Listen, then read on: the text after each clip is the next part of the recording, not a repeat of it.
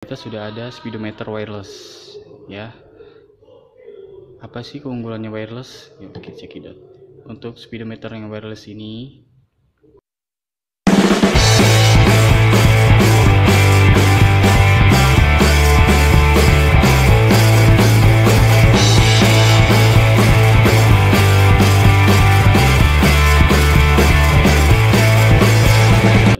untuk speedometer yang wireless ini digunakan untuk sepeda-sepeda lipat atau sepeda MTB.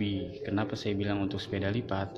Karena ketika kalian melipat-lipat sepeda tidak akan mengganggu ketimbang yang memakai kabel karena kabelnya itu sangat tipis ya. Jadi dikhawatirkan jika kalian melipat-lipat si sepeda maka akan mengganggu si kabel dan bisa putus bisa merusak ya.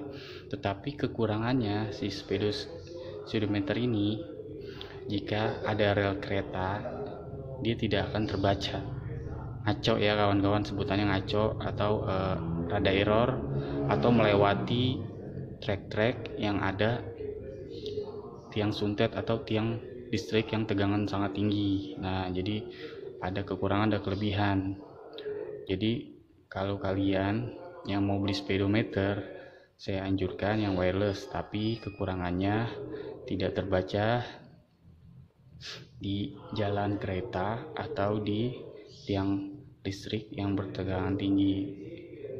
Tidak seakurasi yang kabel. Kabel itu biasa digunakan untuk sepeda-sepeda road bike karena tidak melakukan handling-handling yang handling si handlebarnya atau si stangnya terlalu patah jadi tidak mengganggu si kabel. Jadi untuk mendapatkan akurasi yang tinggi itu lebih baik menggunakan yang kabel. Nah untuk yang simple dan sedikit membantu yaitu yang menggunakan wireless. Karena sangat simple tidak ada kabel-kabel jadi tidak khawatir putus.